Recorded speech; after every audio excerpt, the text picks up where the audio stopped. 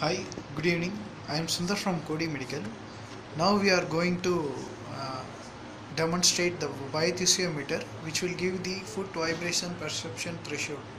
So uh, this is a uh, equipment with uh, a vibrator sensitive and a software to connect it. So uh, the first procedure is to turn on the device so this will uh, be here 0.0 volts as a uh, minimum value.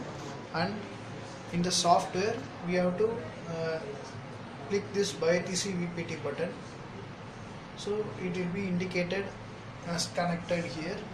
When the machine is connected when it is turned off it shows disconnected. When it is turned on it shows connected. So after ensuring this connection we have to slowly raise the value. So raise the value like we have to turn this knob in a right fashion so it will increase the volt. And we are getting the vibration sensation here.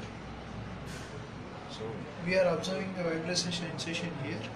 So after we we have to place it on the great toe of the patient and observe the threshold values if he says he's feeling the pricking or vibration kind of feeling, he have to say yes.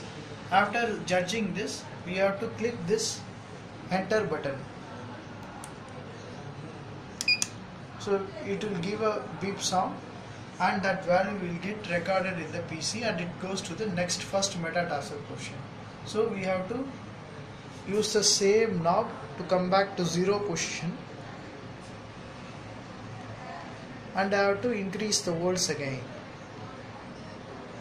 to identify the next threshold point. So after sensing the next threshold point from the patient's feedback, you have to click enter again to save this part.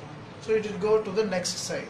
So likewise, we have to do the enter pressing, it will record the vibration perception values in all the regions of the foot. So after entering all this detail, we have to enter the patient value name. For example, demo. The so after uh, typing the patient ID, age, height, weight, you have to click the save button to save the reports. Clicking save button will save the report and on, on clicking OK, we'll be observing the report. So we'll be having three options export PDF option, change chart view and print report. So in export PDF option, we can export this file into PDF and change chart view will indicate the values in chart and print report is give the uh, prints of the vibration perception threshold. So that's all for the demo. Thank you so much.